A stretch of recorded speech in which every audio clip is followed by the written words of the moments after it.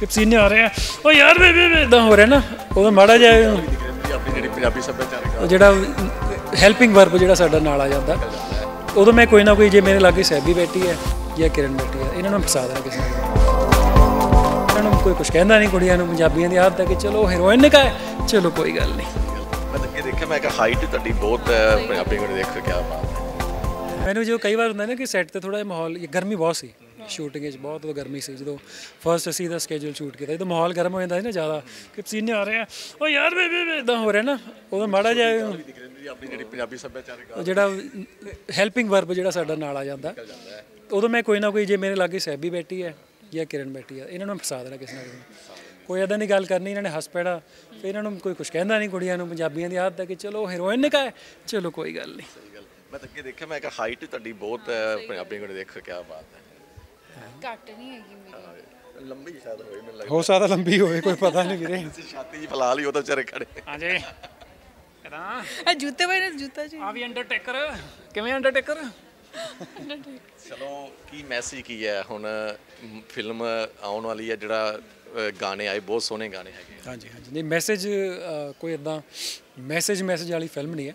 Entertainment ਹੈ ਤੇ ਸਾਡੀ ਕੋਸ਼ਿਸ਼ ਹੈ ਕਿ ਇੱਕ ਅਸੀਂ ਇੱਕ ਅੱਜ ਦੇ ਜ਼ਮਾਨੇ ਦਾ ਮਜਨੂ ਉਹਦੀਆਂ ਕਹਾਣੀਆਂ ਦਿਖਾਉਣ ਦੀ ਕੋਸ਼ਿਸ਼ ਕੀਤੀ ਆ ਕਿਹੜੇ ਝਮੇਲਿਆਂ 'ਚ ਫਸ ਜਾਂਦਾ ਕੀ ਕਰਦਾ। ਤੇ ਅਸੀਂ ਤਾਂ ਉਮੀਦ ਹੀ ਕਰ ਸਕਦੇ ਹਾਂ ਕਿ 22 ਮਾਰਚ ਨੂੰ ਤੁਸੀਂ ਸਿਨੇਮਾ 'ਚ ਜਾ ਕੇ ਫਿਲਮ ਵੇਖੋਗੇ ਕਿਉਂਕਿ ਕੈਨਵਸ ਵੱਡਾ ਹੈ ਫਿਲਮ ਦਾ ਕਾਫੀ ਖਰਚਾ ਵੀ ਕੀਤਾ ਫਿਲਮ ਤੇ।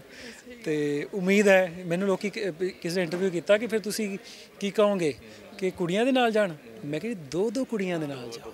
ਔਰ ਇੰਨੇ ਸੋਹਣੇ ਸੋਹਣੇ ਲੋਕੀ ਵੇਖਣ। ਨੂੰ। ਦੇਖੋ। ਇੰਨੀ ਨਾਲੇ ਇੰਨੀ ਸੋਹਣੀ ਕੁੜੀ ਨੂੰ ਵੇਖਣ ਵਾਸਤੇ ਯਾਰ ਕੌਣ ਨਹੀਂ ਆਏਗਾ ਮੈਨੂੰ ਤਾਂ ਲੱਗਦਾ ਵੇਖ ਅੱਜ ਹੈ। ਕਹੋ ਮਾੜਾ ਜਿਹਾ ਮੈਨੂੰ ਕਹੋ। ਇਹ ਵੇਖੋ ਇਹ ਕਿੰਨੇ ਸੋਹਣੀ ਕੁੜੀ ਨੂੰ ਤੁਸੀਂ ਦੇਖਣਾ ਹੈ ਸਿਨੇਮਾ। ਉਦੋਂ ਤੁਸੀਂ ਆਪ ਹੀ ਸੱਚ ਨਾਲ ਆਓਗੇ ਪਹਿਲੇ ਦਿਨ ਵੀ ਆਓਗੇ ਨਾਲ ਹੈਂ, ਕਿਆ ਬਾਤ ਤੇ ਜਿੱਥੇ ਜਿੱਥੇ ਹਾਊਸਫੁੱਲ ਹੋਊਗਾ ਅਸੀਂ ਮੈਮ ਨੂੰ ਲੈ ਕੇ ਜਾਵਾਂਗੇ ਉੱਥੇ। ਤੁਸੀਂ ਪੱਕੀ ਗੱਲ ਹੈ।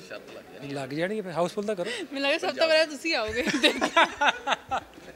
ਇਹਨਾਂ ਨੇ ਤਾਂ 21 ਨੂੰ ਆ ਜਾਣਾ ਸਾਡੇ ਕੋਲ ਇੱਕ ਦਿਨ ਪਹਿਲਾਂ ਹੀ। ਨਹੀਂ ਵਾਕਈ ਮਤਲਬ ਇੱਕ ਖੂਬਸੂਰਤ ਜਿਵੇਂ ਪੰਜਾਬੀ ਜੱਟੀ ਕਹਿ ਦਿੰਦੇ ਨੇ ਸਾਰੇ ਗੁਣ ਹੈਗੇ ਆ। ਨਹੀਂ ਸਾਡੀ ਇੱਕ ਫਿਲਮ ਦੇ ਨਾਲ ਜਿਹੜੀ ਕਾਸਟਿੰਗ ਹੋਈ ਹੈ ਹਰ ਕੈਰੈਕਟਰ ਨੂੰ ਉਹ ਕੈਰੈਕਟਰ ਦੇ ਹਿਸਾਬ ਨਾਲ ਕੀਤਾ ਗਿਆ। ਇਹ ਐਨ ਆਰ ਆਈ ਲੱਗਦੇ ਨੇ ਕਿ ਬਾਹਰੋਂ ਆਈ ਹੋਊਗੀ ਕੁੜੀ। ਉਹ ਪ੍ਰੀਤ ਜਿਹੜਾ ਕੈਰੈਕਟਰ ਹੈ ਮੈਮ ਦਾ ਕਿਰਨ ਦਾ ਇਹ ਦਿਖਾਇਆ ਉਹਨਾਂ ਨੂੰ ਉਦਾਂ ਪਿੰਡ ਦਾ। ਬਾਹਰੋਂ ਆ ਕੇ ਲੁੱਟ ਲਿਆ ਮੁੰਡੇ ਦਾ ਦਿਲ ਫਿਰ ਮੈਂ ਤਾਂ ਦਿਲ ਲੁੱਟਦੀ ਰਹਿੰਦੀ ਹਾਂ। ਨਹੀਂ ਗੱਲ ਤਾਂ ਠੀਕ ਸੀ। ਪਾ ਲੈ ਦਿਲ ਲੁੱਟਣ ਦੇਣਾ ਗੱਲ ਠੀਕ ਸੀ। ਦਮ ਕਿਉਂ ਨਹੀਂ ਆਵਾਜ਼ ਮੇ ਕੌਨਫੀਡੈਂਸ ਕਿਉਂ ਨਹੀਂ ਆਇਆ? ਦੁਬਾਰਾ ਬੋਲੋ। ਮੈਂ ਤਾਂ ਦਿਲ ਲੁੱਟਦੀ। ਬੋਲਿਆ ਹੀ ਨਹੀਂ ਗਿਆ। ਰੀਟੇਕ ਰੀਟੇਕ ਰੀਟੇਕ ਹਾਂ ਰੀਟੇਕ ਮੈਂ ਤਾਂ ਦਿਲ ਲੁੱਟਦੀ ਰਹਿੰਦੀ ਹਾਂ। ਹੁਣ 22 ਮਾਰਚ ਨੂੰ ਸਿਨੇਮਾ ਘਰਾਂ ਚ ਆ ਕੇ ਤੁਸੀਂ ਇਹਨਾਂ ਦੀ ਐਕਟਿੰਗ ਦੇਖੋ। ਸਾਡੀ ਤੁਸੀਂ ਫਿਲਮ ਦਾ ਜਿਹੜੇ ਇਹਨਾਂ ਨੇ ਦਿਲ ਲੁੱਟਣੇ ਆ ਨਾ, ਉਹ ਵੀ ਟਿਕਟਾਂ ਵਾਲੇ ਹੋਣ। ਦੇਖੋ ਫ੍ਰੀ ਵਾਲੇ ਨਹੀਂ, ਦੇਖੋ ਇੰਨੀ ਸੋਹਣੀ ਕੁੜੀ ਆ, ਤੁਸੀਂ ਫਿਲਮ ਨਹੀਂ ਦੇਖ ਸਕਦੇ ਉਹਨਾਂ ਦੀ ਯਾਰ।